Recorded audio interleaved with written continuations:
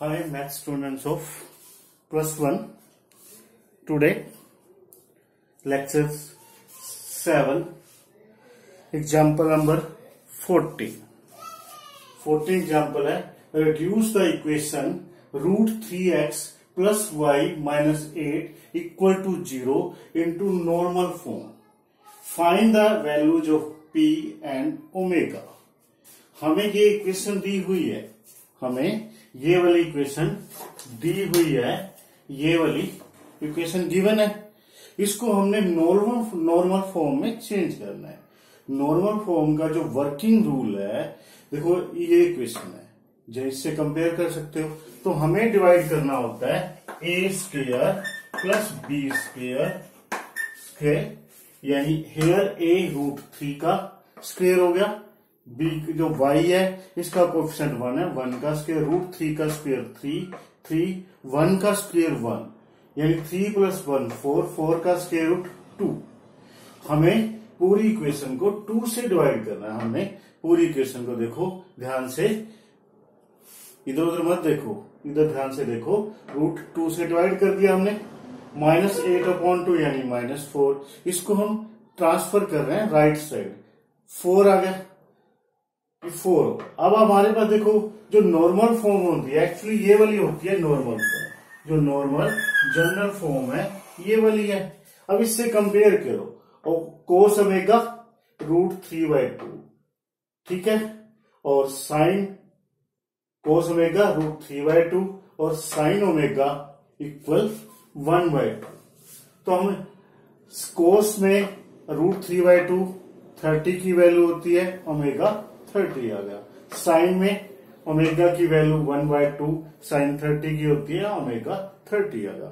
हम इसको ऐसे भी कर सकते हैं, यानी हम इसको कोस की वैल्यू आ गई साइन की आ गई। कोस और साइन को यानी टेंजेंट की फॉर्म में ले सकते हैं टेंजेंट ओमेगा ये होता है साइन अपॉन कोस के साइन की value root three by two है। रूट थ्री बाय टू और कोस सॉरी कोस की वैल्यू साइन की जो वैल्यू है वो वन बाय टू है और इसकी रूट थ्री बाय टू है। टू से two cancel one by root three देखो बहुत पॉजिटिव है, ये कोस और साइन भी पॉजिटिव है और टेंजेंट भी पॉजिटिव है। और पॉजिटिव आपका फ़र्स्ट क्वाड्रेंट में होता है तो फ़र्स्ट क्वाड्रेंट में रूट थ्री की value one upon root three की वैल्यू थर्टी होती है टेंजेंट की फॉर्म में। इसका मतलब ओमेगा आपका थर्टी डिग्री आ गया और पी कंपेयर करोगे, वो फोर हो गया। ठीक है? ये था स्टूडेंट्स फोर्टीन एग्ज़ाम्पल है. Now next example fifteen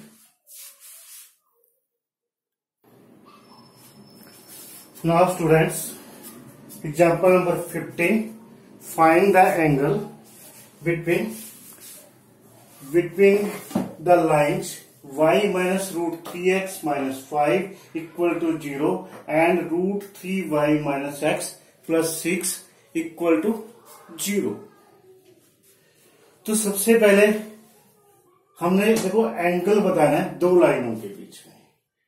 आपको पता है दो एंगल के बीच में, दो लाइंस के बीच में एंगल फाइंड करते हैं tan theta m two minus m one upon one plus m one into m two इसका मतलब सबसे पहले इन दोनों लाइन का हमें स्लोप मालूम करना है। स्लोप एम से ही रिप्रेजेंट होता है। तो सबसे पहले हमने इसको स्लोप इंटरसेप्ट फॉर्म में कन्वर्ट किया। क्या होती थी slope intercept form y equal m x plus c तो y, इसको हमने क्या किया? राइट साइड ले गए, यानी राइट साइड ट्रांसफ़र कर दिया। तो ये पॉजिटिव होगा, ये आपका पॉजिटिव होगा। ठीक है जी? तो यहाँ से एम वन आपका रूट थ्री हुआ। Second equation of the line is इसको इधर रखा, इन दोनों को तो ये पॉजिटिव होगा, ये आपका नेगेटिव होगा माइनस सिक्स फिर रूट थ्री से, क्योंकि यहाँ पर कोफिशियंट करना होता है, क्योंकि जो slope form point slope form है तो आपके पास स्लोप इंटरसेप्ट फॉर्म है, वो ये है एम एक्स प्लस सी ये आपकी स्लोप इंटरसेप्ट फॉर्म है। तो इसमें कन्वर्ट वाई यूनिटी होता है वन होता है वाई का क्वेश्चन रूट थ्री से डिवाइड करोगे, दोनों साइड रूट थ्री से डिवाइड करोगे, दोनों साइड तो यहाँ पर आपका कंपेयर करो, ये आपका एम टू होगा, ये आपका वन हो M1 हो गया. अब ये दोनों वैल्यूज़ पुट करोगे, यहाँ पर one upon root three minus root three root three LCM ले ले ले यानी आप सिंप्लीफाई बड़े आराम से कर सकते हो. You itself simplify yourself simplify it तो आपके पास जो आता है वन अपॉन रूट थ्री आता है सिंपली एब्सोल्यूट का मतलब चाहे पॉजिटिव या नेगेटिव आपने लास्ट में पॉजिटिव लिखना है। तो root three one upon root three tangent thirty की वैल्यू इसका मतलब थीटा आपके पास थर्टी हो गया। और वन एट्टी में से थर्टी घटा दोगे वन फिफ्टी ये ऐसे होता है, जैसे दो लाइनें क्रॉस करती हैं। तो एक एंगल अक्यूट हो सकता है, दूसरा, यानी ये एंगल खोल करो। अक्यूट है, ये ऑप्ट्यूज है। तो अगर ये थीटा है तो ये अब ट्यूज होगा, ये थीटा है तो ये वन एट्टी माइनस थीटा होगा। इस प्रकार हमें दोनों एंगल निकालने होते अब आ जाओ स्टूडेंट्स, सब एग्ज़ाम्पल नंबर सिक्सटीन। जहाँ पे हमें ये दिया हुआ है दो लाइन है दो लाइन की जनरल इक्वेशन क्या दे रखी है? A one x b one y plus c one equal to zero और सेकंड की दी हुई है a two x plus b two y plus c two equal to zero जहाँ पर वी वन और b two not equal b और B one और बी टू ज़ीरो के इक्वल नहीं है। हमने प्रूव करना है, लाइनें पैरल होंगी तो ये वाली कंडीशन होगी। अगर लाइनें परपेंडिकुलर होंगी तो ये वाली कंडीशन होगी। ठीक है? हमने क्या किया? जो आपकी ये लाइन दे रखी है ये, इसको हमने इंटरसेप्ट स्लोप इंटरसेप्ट फॉर्म में चेंज किया। यानी बी वन वाई को इधर रखा, इन दोनों को राइट साइड ट्रांसफ़र किया तो ये माइनस में कन्वर्ट हो गए फिर बी वन से इसको डिवाइड किया। इसका मतलब जो इसका स्लोप है, वो ये वाला होगा minus a one upon v one इस साइड भी, जो आपकी ये इक्वेशन है, इसको भी बी टू से डिवाइड किया, इन दोनों को फ़र्स्ट और यानी एक्स के कोपसेंट एक्स ये वाली टर्म और ये वाली टर्म। दोनों को राइट साइड ट्रांसफ़र किया, दोनों नेगेटिव हो गए तो उसके बाद इससे डिवाइड किया तो इसका जो एम टू है आपका, ये वाला तो स्लोप हो गया। ठीक है जी। अब ये आप पढ़ चुके हो ऑलरेडी लर्न कर चुके हो। दो लाइनें पैरल कब होती है जब उनके दोनों के स्लोप इक्वल हो? दोनों के स्लोप हमने इक्वल रख दिए, एक का ये था, एक का ये था। माइनस से माइनस कट गया तो हमारे पास रिक्वायर्ड कंडीशन आ गई। उसके बाद थर्ड लिए परपेंडिकुलर में क्या कंडीशन थी? M one into m two equal minus one थी। याद आ गया ना, जो परपेंडिकुलर में जो कंडीशन होती थी? M one into m two equal minus one तो एम वन और एम टू की वैल्यू पुट की, दोनों तरफ़ माइनस है पॉजिटिव हो गया a one a two b one right side minus one है क्रॉस मल्टीप्लाई करोगे तो a one a two equal minus को लेफ़्ट साइड ले आओ this is required condition is it clear student समझ आ रही है ना आपको? Math is very easy subject आप इसको आसानी से कर सकते हो, बस थोड़ा समझना ज़रूरी है। Now students seventeen find the equation of a line perpendicular to the line x minus two y plus 3.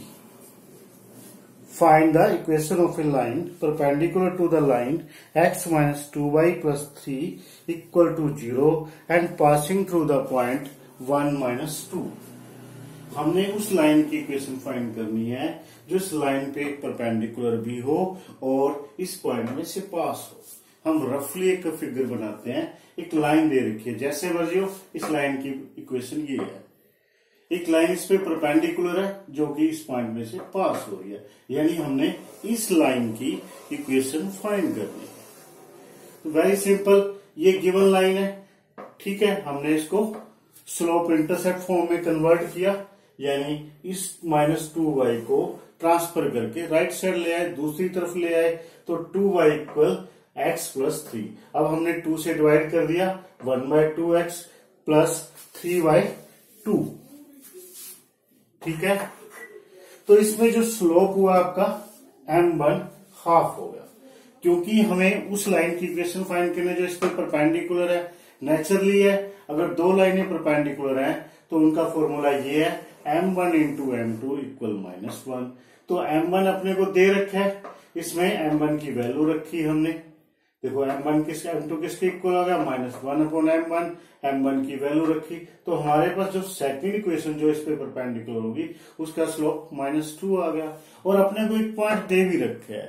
तो हम पॉइंट स्लोप फॉर्म यूज़ कर सकते हैं। जब आपको एक पॉइंट दे रखा हो, एक स्लोप दे रखा हो तो ये वाली इक्वेशन होती है y one minus y one equal m into x minus x one ये फॉर्मूला होता है। X one y one given point होता है, जो कि यहाँ पर आपके पास वन माइनस टू है।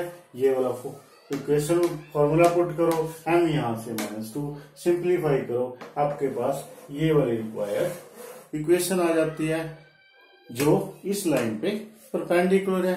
This is very easy try to understand it by watching the video again and again I also request please subscribe my channel and watching again and again and solve the sums of exercise 10.3 ठीक है students okay thank you